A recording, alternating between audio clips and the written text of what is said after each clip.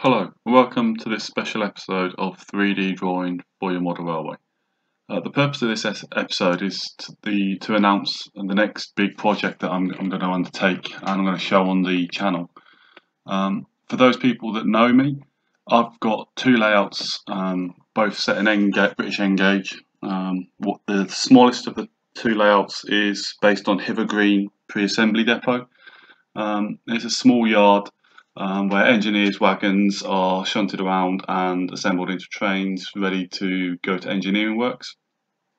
The other layout that I've got um, is currently based in the loft, but it is being constructed to um, be portable so I can take to exhibitions. Um, that's an N-gauge version of Tonbridge West Yard.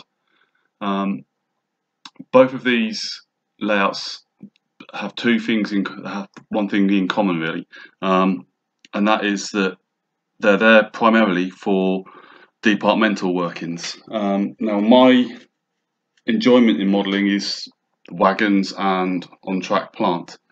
So, uh, the, obviously, in N-gauge and British N-gauge, there's very little track plant available, um, and the wagons that are available are either kits or, or pretty much all, all of the same thing, um, which is one of the main reasons why I got into 3D printing. Um, so, without further ado, let's have a look at what we're going to be building over the next few months. Um, it's going to be quite a long project, um, but hopefully, if you'll follow along, you will be amazed at what we'll be able to achieve, and hopefully, you'll be quite pleased with um, the outcome. As you can see in this picture, the project that we're going to be looking to do over the, the next few weeks, maybe months, is a Cowans Sheldon 30 tonne diesel mechanical crane. These cranes were part of an order of 22. There was 12 75 tonne cranes and 10 30 tonne cranes. Um, initially the, the order was for them to all become steam cranes, um, but the decision was made that two of the 75 tonne cranes and two of the 30 tonne cranes would become diesel mechanical and they would uh, all four of those would be based in the southern region. Um, so the model we're looking at is going to be the 30 ton crane. Um, the total um, cost of the order for British Rail was slightly over one million um, pounds back in the uh, back in 1960s. Um, the diesel mechanical crane um, had a Rolls-Royce C4 NFL four-cylinder diesel mechanical engine fitted. the two 30 ton cranes um, were initially numbered 965183 and 184 and then subsequently they were numbered to 96100 and 96101. They were both built in 1962 and both of them were also withdrawn in 1996.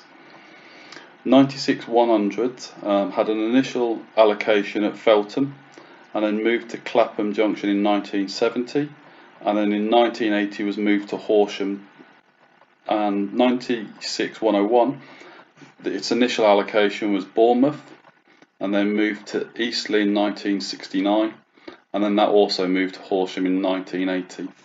Um, the Horsham depot um, was primarily for electrification works within the southern region and these two cranes um, were used for uh, moving and installing transformers and substation parts.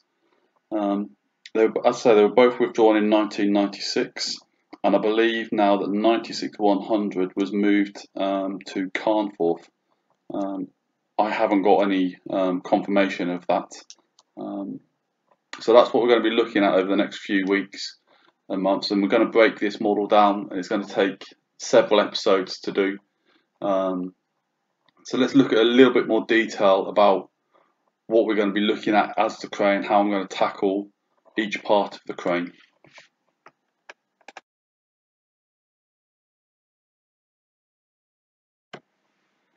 Okay, so the first thing I have to do is thank Paul Wade for allowing me to use the photos um, that he's given me and supplied me to be able to use them in the video. Um, I've got about two dozen photos of the pair of these cranes from both sides, various different angles. I've also got scale plans. Um, so we're going to be working from all of those.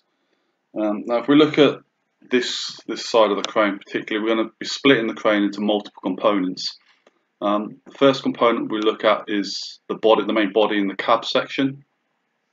Um, this part will be hollow because we've got glazing in here. I want to have it hollow so that you can get inside and put your glazing internally. Um, the window probably will be quite small, so there is a possibility that we'll be able to just use some of that glaze glue um, from uh, Deluxe Innovations. Um, but I'm gonna, initially we're going to make it hollow. Um, so that'll be the first component. Second component will be a plate that sits underneath with a pivot that comes down that will go into the chassis to enable this to, to rotate and pivot as it goes around corners. That's most likely going to have this gear attached to it, although that gear may end up being attached to the chassis. It just depends on um, how tests work. Um, obviously, I've not printed this, I've not designed this yet, so this is going to be initially just a drawing, and then that will then go through a testing phase to see what we can achieve with it. So that's the first two parts. The next part is going to be the chassis. Now, if you look at the, the underframe of the chassis here, this is obviously one massive big lump here, but underneath we've got the first three axles here are solid and rigid to the frame, and then the last two are part of a bogie. Um, now, I'm going to be drawing these in N British N gauge, um, and how well five axles that close to each other will cope going around uh, N gauge track is to be seen.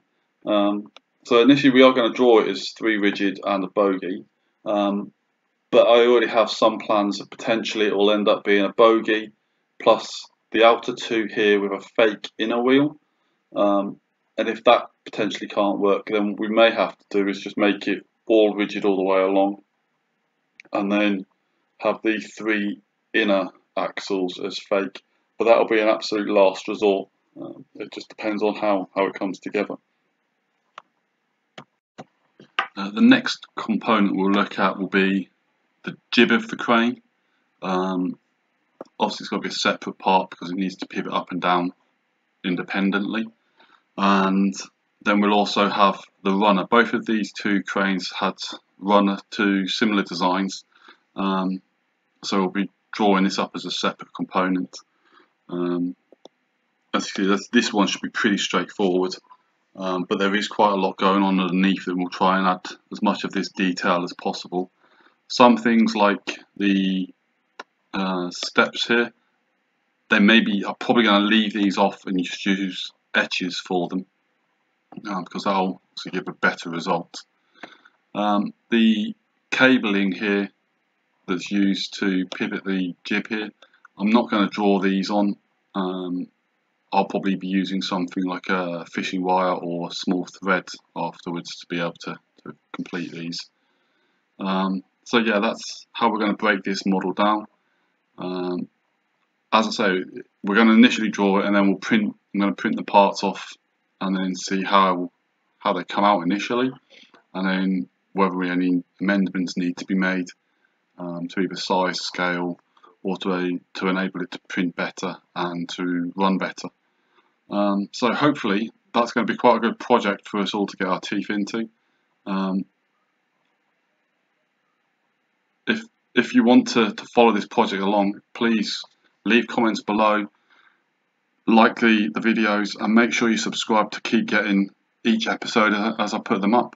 Um, I say it's going to be going over a few weeks, and hopefully this will be something that primarily the British N gauge um, fraternity will really be after, because really there is no cranes available um, that are prototypical in N gauge.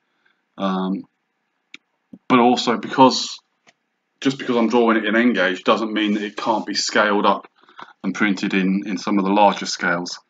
Um, although to be printing something this large in double O, you're probably going to need quite a large printer rather than just what I've got with a little photon. Um, I, there is a possibility that I could do it on the photon, but it may mean that I have to break um, parts into separates. Uh, something like the jib would be being quite large, so I might have to split that down the middle and then print that as two separate parts. Um, so yeah, if, if you're interested in following this along, as I say, please hit the subscribe button and the notification hopefully you'll enjoy it. Thanks for watching.